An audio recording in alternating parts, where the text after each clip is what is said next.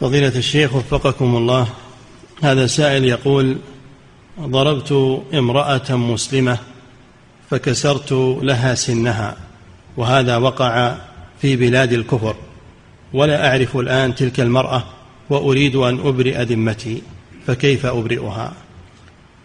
ما تبرئها إلا أن تدفع لها حقها. نعم.